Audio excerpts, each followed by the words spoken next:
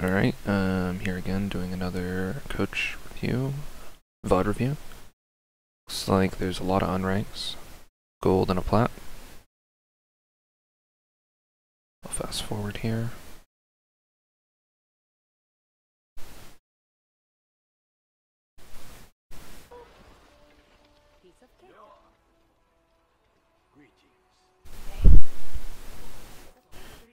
Let's see, team comp doesn't have another support.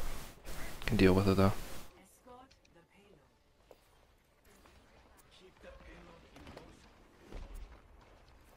Quality of this VOD doesn't look as good as the last one. I'm sorry, that's not on my end, but you don't need super good quality to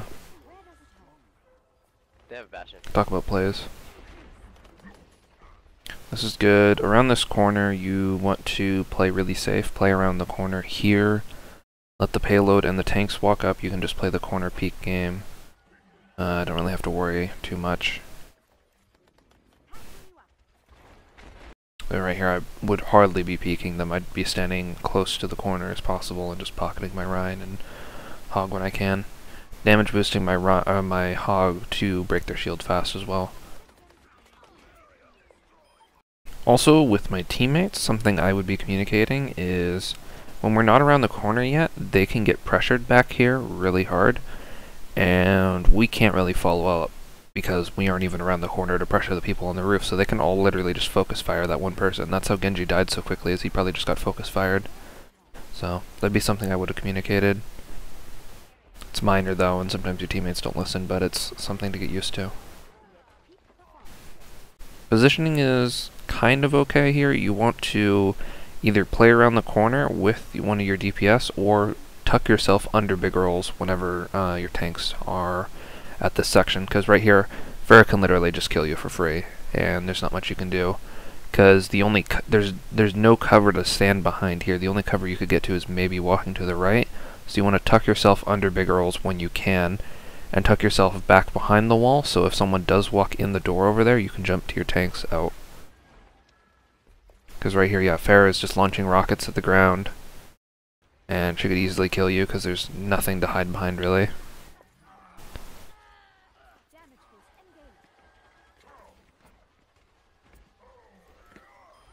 When your teammates aren't pushing the payload and no one's really pushed up, I'd walk, I'd just take like two steps back and be pushing it. Have more bodies on it. And I'd also be telling my tanks, get on the payload payload. Don't ever leave it.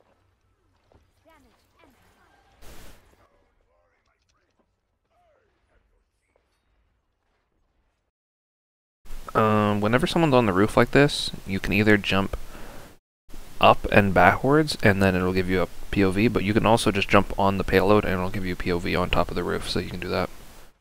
Be able to jump. Because you would have been able to jump to him.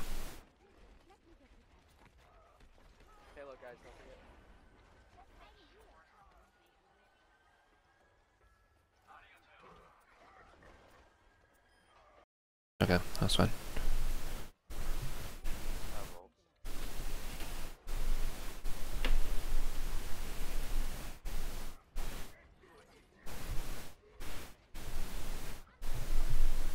I'd be super careful here, and there's a lot of rocket spam. Two stray rockets can kill you, so try to play the corner as much as possible.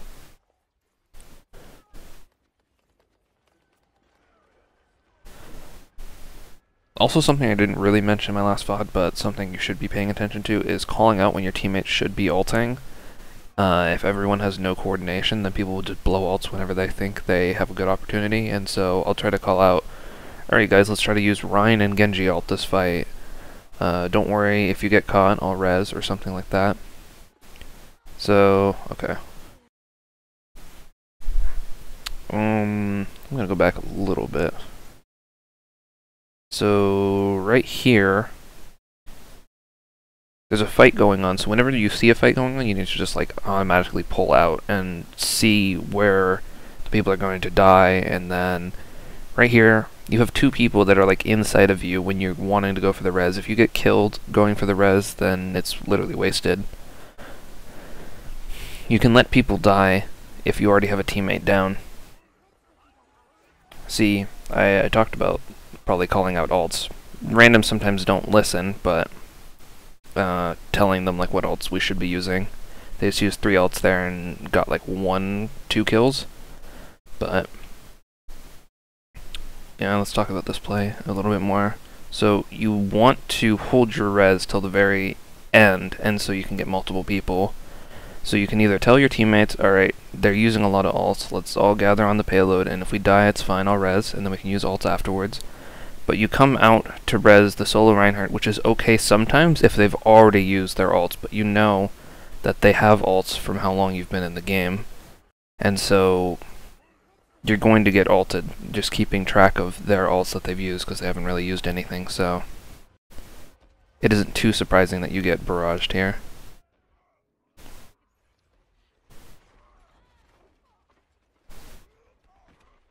And now Rein's used his ult too, so it's always just communicating to your team what ults to use because you used five ults there and your net gain was like a kill and you didn't move the payload at all.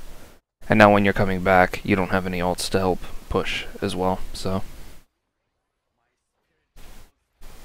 Communicating to your team, telling them, hey, let's not use any alts this fight. If we get wiped, that's okay, I'll res. If not, we can re we can use our alts after we get resed, and when they already use their alts to wipe you.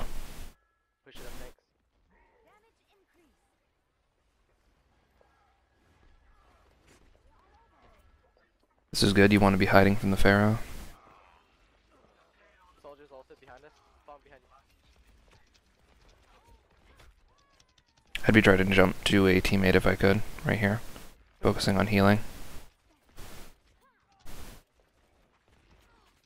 Get on the payload, guys.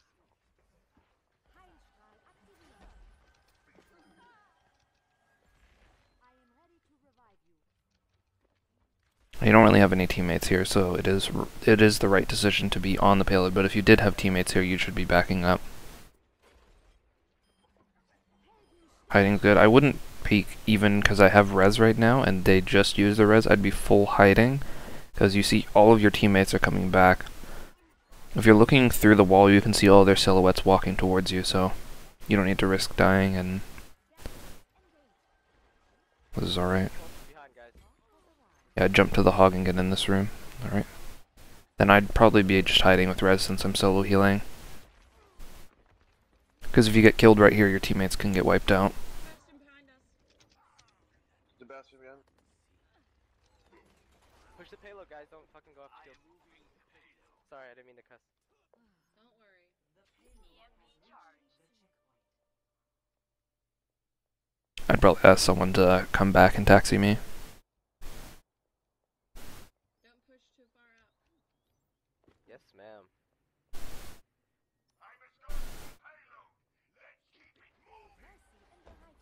Watch out. Fair may have a ult.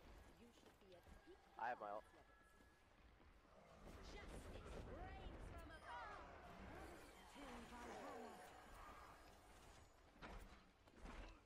I would I would have maybe waited because they So this one has 26 that was an accident. I would have maybe waited a little bit there to see if your team had uh if any of them were going to take any more deaths because right after that um that barrage you played it all right where you played safe afterwards but they have their Rein right there. He hasn't used shatter in a while. Um once you use res he's going to have the perfect shatter opportunity right after and so I might have waited because the people are probably going to blow ults if they see their teammate blow ults, so I would have waited and then played it super safe because their Rein is super pushed up right now. You don't have a shield to hide behind. Even though your Rein's trying to set up, he's just going to get a shatter on you. That's what happens. Go, push it, push it, push it, push it.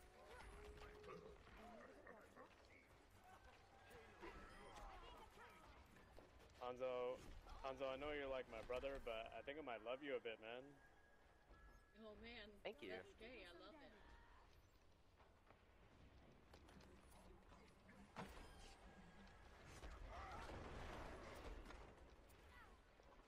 Be trying to hide here when you can.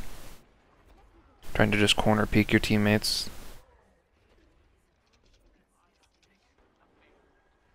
Seeing where the fair is and hiding, that's good hoping that you have res soon is good as well.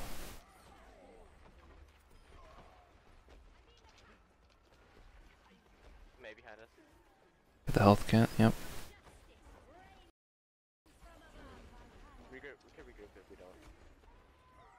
That res is... It's a bit risky. I know you're getting ulted and you want to ult yourself, but you're so close at the end you actually want to save your ults. So you can communicate that with your team because if you get this res off, um, you're so close to the end that their spawns are just like really close and they can just walk back and then it takes you like 15 seconds to walk back and it takes them like 2. So maybe even longer, like 20 seconds, but yeah, you want to have all your alts because if you start blowing alts at the end, like haphazardly, you probably aren't going to be able to finish the map. So you want to save your ults at the end and communicate that with your team so you can uh, get the payload to the end. You build res so quickly as a solo healer though, so it wasn't the worst decision in the world. When you're resing your teammates as well, they can start getting ult charge whenever you've resed them, so it's not the worst you build up for them though, so there's trade-offs to it. I'd be sticking to the left, like in the left room whenever you see Pharah rockets coming right at you. Alright, ready guys together. Tanks up, tanks up.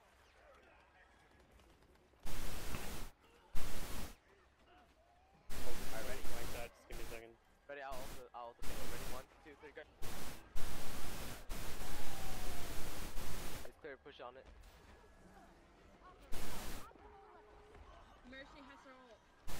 I'd probably be jumping to the Sombra right there. That's a really good position to be at because if anyone comes behind you, you can either jump onto the uh, Mega Health Kit right there if you need it, or you can fly back down.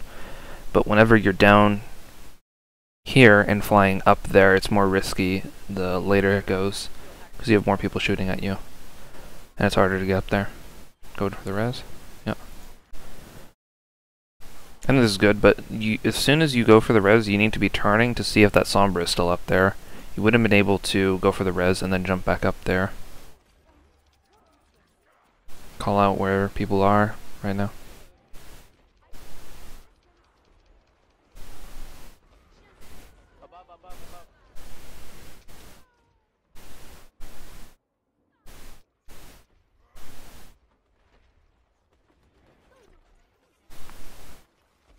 Tough call. You maybe would have been able to shoot the Pharah, but yeah. You don't really have anything to keep her in check. You literally have like Hog Hook, and that's about it. When a team's playing like Ana and Soldier, you at least have two threats on her. that was a really risky route to take. You were in a lot of crossfire. Be spamming that you have res soon and telling people to go onto the payload.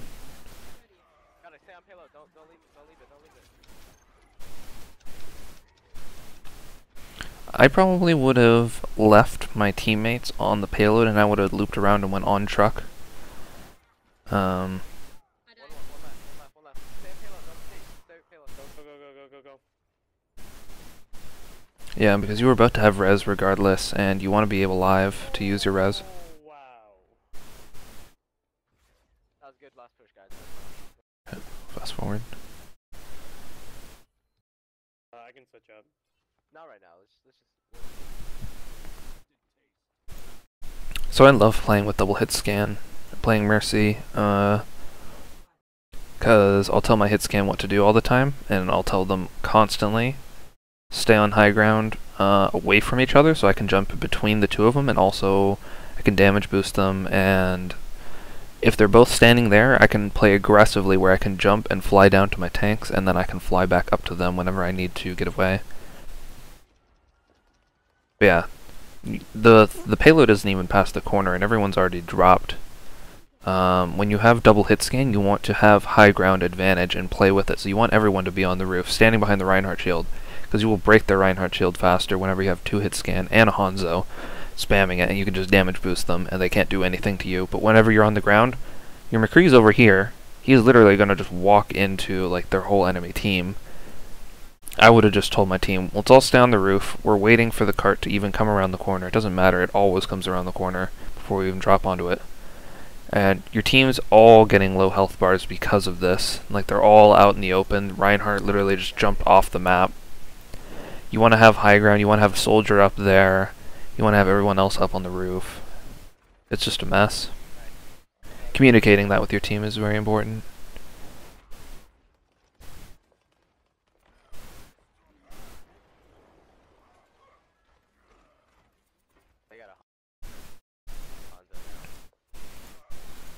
This is alright.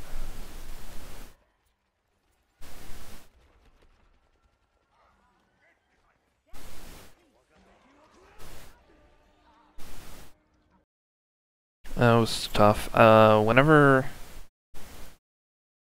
their Hanzo was pushed up like that, you have to be very mindful of what alts they're going to use and like hearing what they're using. So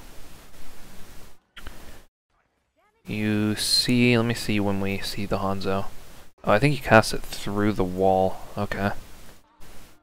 As soon as you start hearing an alt though, you just need to like back away because a lot of people will throw Hanzo ult like at the payload. You also could have flown to the soldier. He had a health kit down as well, so you could have flown to it and like survived in the Hanzo ult for like a second longer, just getting healed from that. It's not too bad though, because your your whole team was out of position. So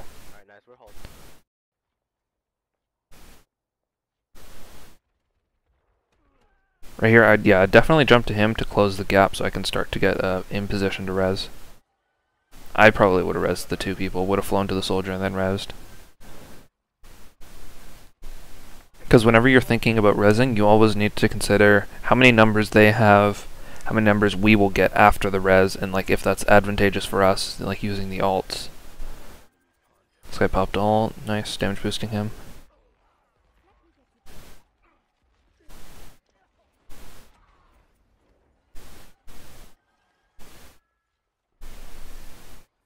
Something minor there, but whenever someone's running away, like the soldier there was sprinting, and you were still damage boosting him, you need to flick to like heal immediately because damage boosting him while he's running away isn't doing anything. Also, I usually just tend to heal squishies whenever they aren't full HP, and then damage boost them when they're just shooting or whenever they're full.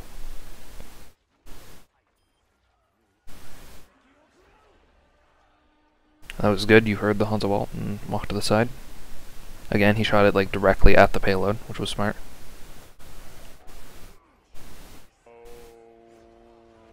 You just want to hide. Yeah. I think whenever you are hearing alts, you just want to like take your hand off the beam. You know, you want to be healing people, but you already have your res, and you just want to like stay hidden. And so in that back little cubby, there wasn't a lot you can do since Pharah was already above, but you wanted to like stop healing to give your position away. Even if they already did know you were there.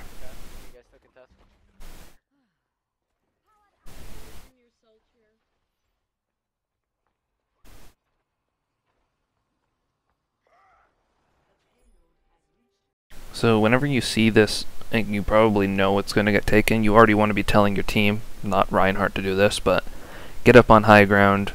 You still have long range. You want to be abusing that. These people are always on the ground. You need, personally, I would just tell them, get up on high ground. We want to be using our high ground advantage. You don't need to contest this little cubby area. You never almost contest this unless you're planning on alting onto them like immediately right here as soon as they walk in, but most of the time you don't do that because it's super risky because you can get caught in that choke.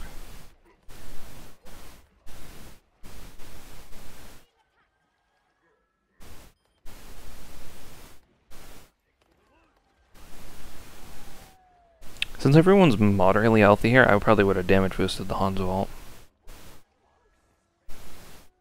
Just to give it that extra one-shot potential. And your teammate's way too far forward right here. I would have been just telling them, spamming them, just say go back.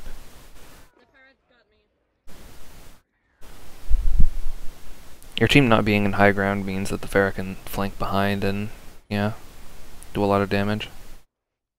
I'll help make a CZ out of I'll discord her. Soldier shoot her. No point going in right now. Pharah's discorded. See, this is how Mercy can, like, get snowballed on, is if you don't position right for one fight, you miss the big res and you die with your team. and then the next portion of the map, everyone is staggered, and say like one person gets caught out, you don't really want to solo res them, so you end up just holding res for a long time, and then it's a lot of time passes before your next opportunity to res, so you have to really make a good advantage, good use of when you have your ult. Since you were already getting shot at there, I probably would have flown to the soldier. He had his heal pack down. Maybe you could have survived. Team wasn't in that good of a position though, so.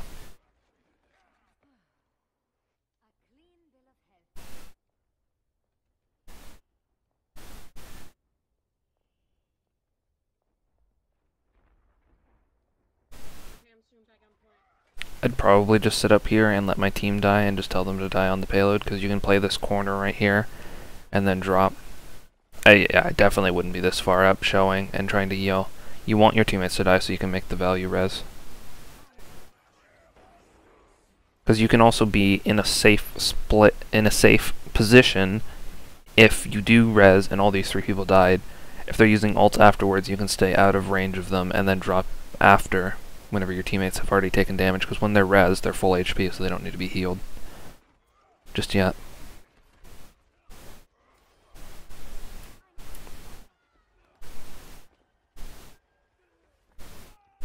Yeah, I would have jumped. uh, You can jump and then use your guardian angel, and it like gives you like a better angle on people who are standing on like catwalk. Or just jump on the payload to get up there. Discorded.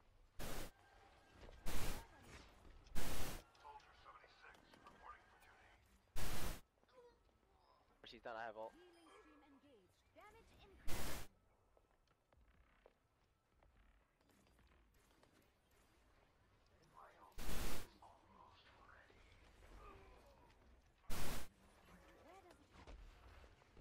Far up above in the building.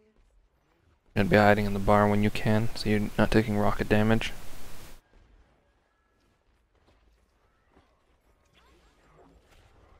Tracer's behind us. On the right. On the right. Watch out for right. So you're telling your team you have res. Yeah, team was generally out of position and the is not being dealt with, so there's not a lot you can do there. Get on the point. On the point.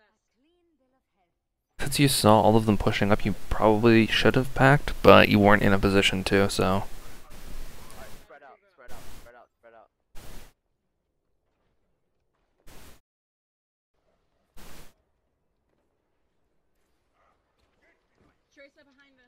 Yeah, you want to stay on the truck when you can. It's a really good position. When you drop into this cubby, it's like a shooting gallery, where if your Rein's not holding shield, then you can just get shot at. And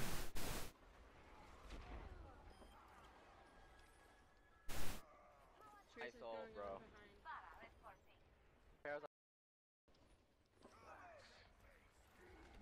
I'd be telling my team to back up. This isn't a good uh, place to hold. Because you can get ulted and then almost they can finish the map. Just play back a little bit around the corner. So as soon as you see this, this, this is good, he pops Zen ult, but you need to be like pulling away as soon as you see them res, so you can get ready for your res to come up. So yeah, just stick with the Zen. But I'd still just be backing up.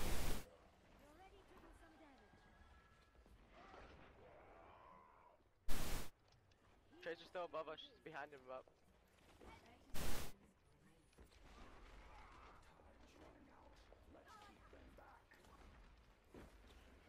It's a good jump.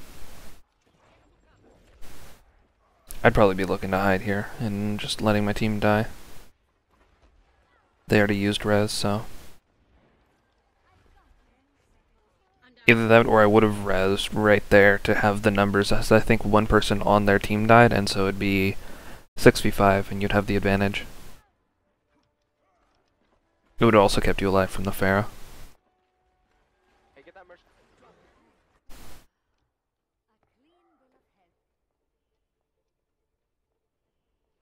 You forget I die near the payload.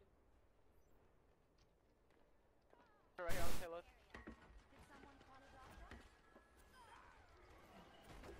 Wiping the kills. I'd still be playing like really safe right now. Good job, guys. Nice Good job. job. Yeah, that's it. Okay. Game wasn't too bad. It's definitely some position mistakes and things you could have communicated, but altogether not too bad.